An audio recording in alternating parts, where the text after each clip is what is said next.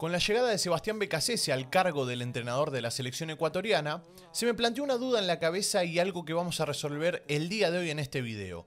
La influencia de los entrenadores argentinos en la selección ecuatoriana. ¿Cuáles son los antecedentes? ¿Cuál es el más reciente que tenemos? Que es Gustavo Alfaro, ya lo deben conocer más de uno. Bueno, todo eso lo vamos a resolver en este video. Así que sean bienvenidos a Yo Janito.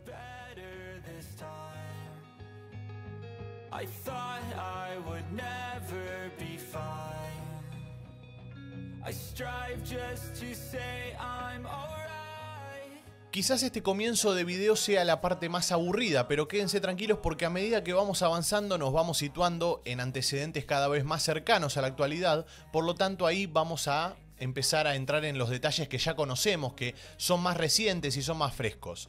Pero yendo a las nominaciones, o mejor dicho, a los antecedentes que tenemos de hace muchos años, tenemos en 1953 a Gregorio Juan Esperón al cargo de la selección ecuatoriana. En este sentido, en 1953, si vamos al archivo, si buscamos en internet, les va a salir que tuvo la Copa América, tuvo lugar la Copa América de Perú en 1953. En aquel entonces el técnico, como les digo, Gregorio Juan Esperón, tuvo partidos frente a Perú, frente a Paraguay, frente a Bolivia, frente a Brasil, a Chile y a Uruguay. Estamos hablando de que en total fueron seis partidos. En esa época me parece que no se jugaba mucho, no había tanto esta idea de doble fecha de amistosos y todo eso, pero un detalle que les quiero mencionar es que si alguno tiene una información o me estoy salteando algún entrenador, le pido que me lo dejen en los comentarios porque, como saben, cuanto más atrás te vas en la historia, más complicado es encontrar el archivo. Y en este caso lo que yo encontré fue, por ejemplo, el caso de el señor Juan Gregorio Juan Esperón, que fue el técnico de la selección ecuatoriana en 1953, como les dije. Contra Perú fue 0 a 1, contra Paraguay fue 0 a 0, Bolivia 1 a 1, Brasil 0 a 2 Chile 0-3 y por último contra Uruguay 0-6. Estamos hablando de resultados bastante flojos, pero bueno, en esa época, como les digo, no había mucha preparación, no, era como, no es como ahora que tenés la posibilidad de tener microciclos y doble fecha y amistosos y todo lo que ya sabemos. Salteando y yéndonos ahora mismo a 1981, tenemos a Juan Eduardo Hoberg, en este caso un entrenador nuevamente argentino, eh, todos los entrenadores que voy a nombrar el día de hoy son o argentinos o nacionalizados argentinos, pero la mayoría les digo son argentinos. Juan Eduardo Hover, como les digo, en 1981. Tenemos que ir al archivo nuevamente para saber qué pasó en 1981. Bueno, según lo que tengo entendido yo, no fue solo Hover el entrenador en 1981. También estuvo Miguel Ignomirielo otro entrenador más que estuvo al cargo de la selección ecuatoriana. Como les digo, si hay algún dato que sepan ustedes y que yo no tenga, me lo dejan en los comentarios que con gusto lo voy a estar leyendo. En aquel entonces, en 1981, tenemos clasificatorias al Mundial, en 1981 se jugaron cuatro fechas en total y a su vez también dos amistosos internacionales. Yendo con los amistosos tenemos un partido que derivó en 1 a 3 contra Bulgaria y un partido que también derivó con Brasil en un 0-6. Estamos hablando, bueno, resultados bastante flojos. Y yendo a lo que es eh, las eliminatorias, tenemos un partido contra Paraguay que fue 1 a 0, partido contra Chile que fue 0 a 0, contra Paraguay nuevamente 1 a 3 y contra Chile 0 2. Esos son los resultados que tenemos en 1981 en la clasificatoria de estos dos entrenadores de los cuales les estoy hablando. Estas son las menciones previas a lo que vamos a analizar de Gustavo Quinteros, que para quien no sepa, Gustavo Quinteros fue el antecedente más reciente de un entrenador argentino en la selección ecuatoriana. Fue el que arrancó para mí con lo que fueron los eh, objetivos y también lo que fue la parte positiva de los entrenadores en la selección ecuatoriana, de los entrenadores argentinos estoy hablando. Gustavo Quinteros fue uno de los nombres más recordados que llegó a Ecuador tras una exitosa carrera en clubes y se ganó rápidamente el respeto de la afición.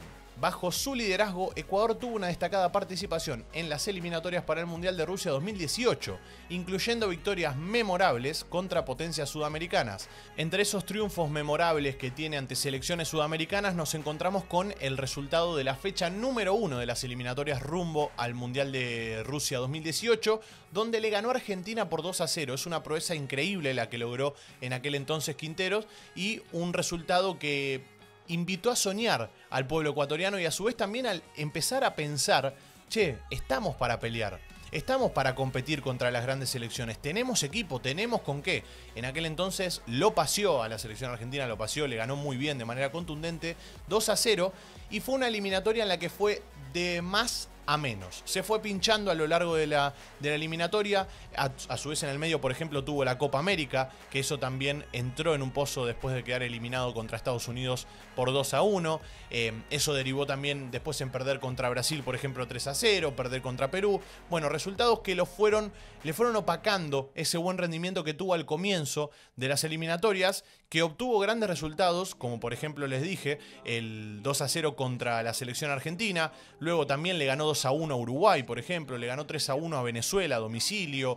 Bueno, tuvo buenos resultados en aquel comienzo y se fue pinchando a medida que fueron pasando las fechas y se termina quedando afuera del Mundial y por eso es que Gustavo Quinteros termina dando un paso al costado, lo echan como quieran llamarlo ustedes. Lo cierto es que Gustavo Quinteros tuvo un muy buen periodo al comienzo y después se fue pinchando y se fue quedando sin nafta y a su vez también fue bajando mucho el rendimiento, por lo tanto termina quedándose afuera. Entonces Quinteros es como un técnico que arrancó bien, terminó mal, pero en líneas generales dejó aspectos positivos a destacar y creo yo que también le puso un poco más de, intensidad a la selección ecuatoriana, que era lo que le venía faltando quizás, un poco más de empuje y un poco más de buen fútbol.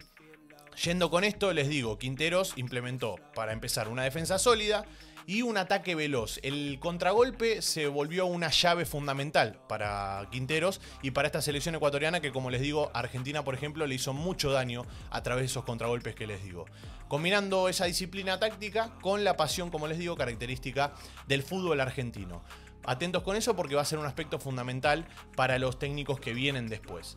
Saliendo del tema de Gustavo Quinteros, vamos al puesto número Dos podemos decir, sí, porque todavía Becasese no está en el puesto número uno. Entonces, saliendo de Gustavo Quinteros, quien llega a la selección es Jorge Célico.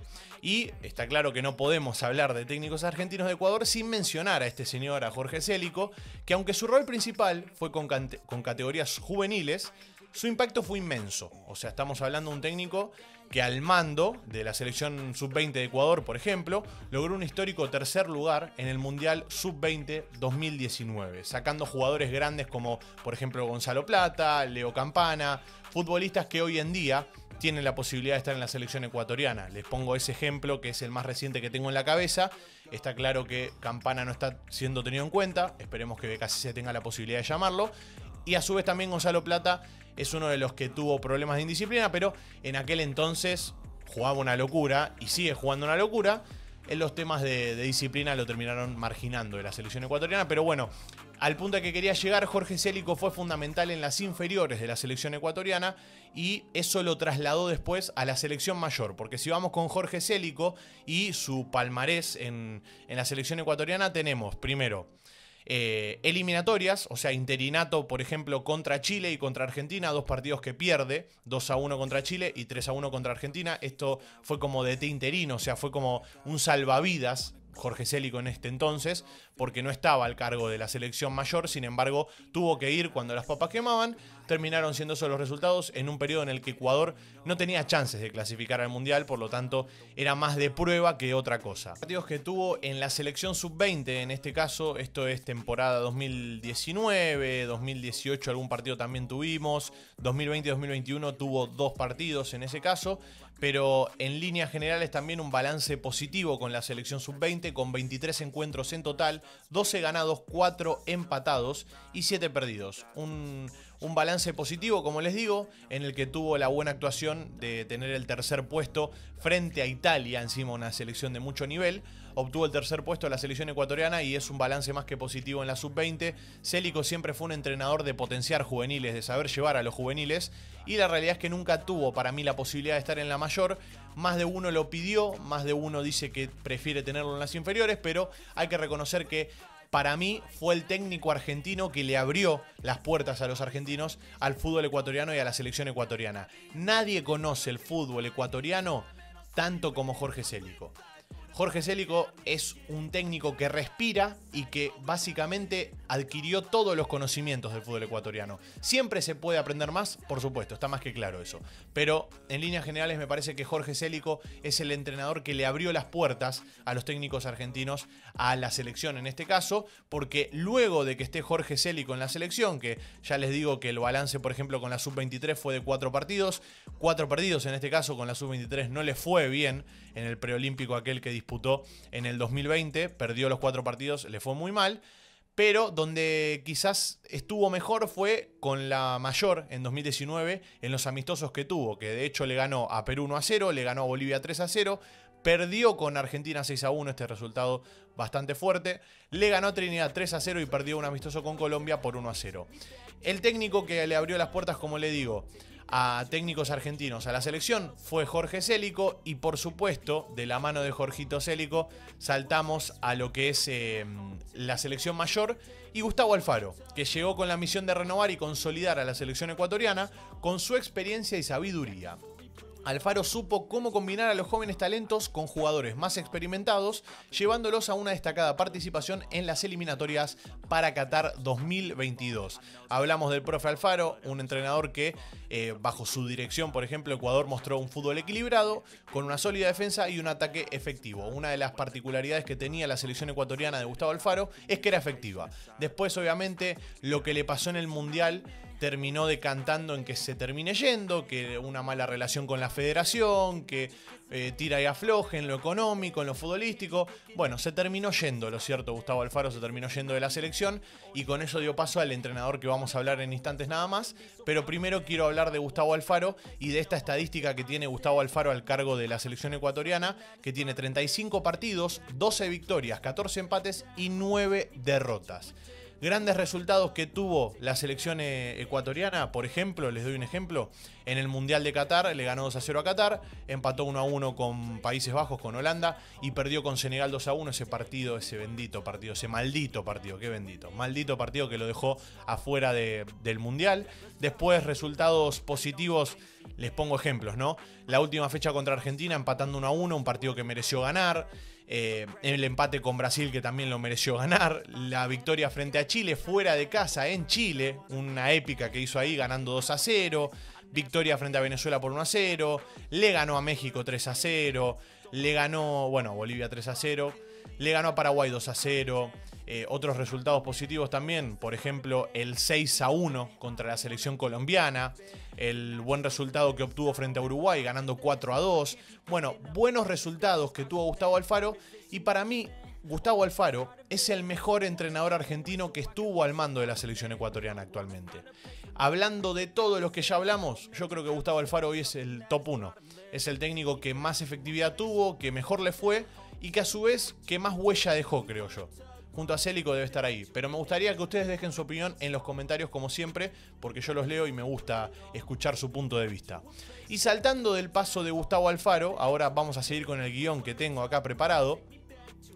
Em, vamos con el presente y futuro de la relación, como les digo, que promete ser igual de emocionante que lo que fue con Alfaro, desde mi punto de vista. Estoy hablando de Sebastián Becasese conocido por su enfoque ofensivo y su habilidad para trabajar con jóvenes jugadores. BKHS, o BKCS mejor dicho, llega con la misión de llevar a Ecuador a nuevas alturas. Con una filosofía de juego agresiva y una gran conexión con los jugadores, BKCS tiene el potencial de escribir un nuevo capítulo glorioso en la historia del fútbol ecuatoriano. Para mí, va a ser el top número uno ya se los voy tirando. Le voy tirando la predicción, lo voy a defender, como les dije, a capa y escudo a Sebastián Becasese, un entrenador que va a ser su primera experiencia con la selección ecuatoriana en cuanto a selecciones se refiere, pero no tengo dudas de que está capacitado para hacerlo. Ya lo he dicho y lo he analizado en la primera parte, lo he dicho y lo he analizado en una segunda parte, y por supuesto, si ustedes tienen ganas de que hagamos una tercera parte hablando de Sebastián Becasese, sin ningún tipo de problemas, lo podemos hacer. Pero el día de hoy quería traer este video porque me gustó, me parece que la idea está buena y una, un cierre, un análisis final que podemos tener es esto que les voy a leer a continuación. La influencia de los entrenadores argentinos en la selección ecuatoriana es innegable.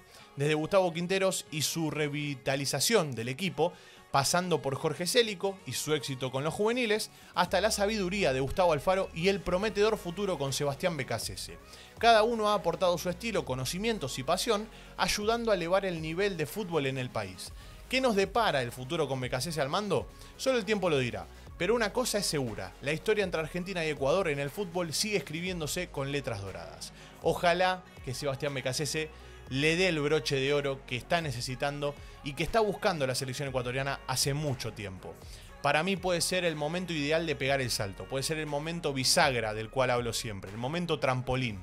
Ojalá llegue de la mano de Becasese, pero lo cierto es que de Quinteros a donde estamos hoy en día, Jorge Célico en el medio, Alfaro en el medio, le han dado una identidad a la selección ecuatoriana y ojalá en este caso se pueda venir a pulir y a terminar de hacer brillar esa idea. Ojalá sea de esa manera y como les digo siempre, suscríbanse, activen la campanita. Gracias por acompañarme hasta el final del video y si tienen ganas de ver más videos así en los que hablamos por ejemplo de la influencia del entrenador argentino en la selección ecuatoriana, más ideas así raras o diferentes, lo podemos hacer sin ningún tipo de problemas. Un abrazo a todos y ahora sí nos estaremos viendo en el siguiente video. Chau chau.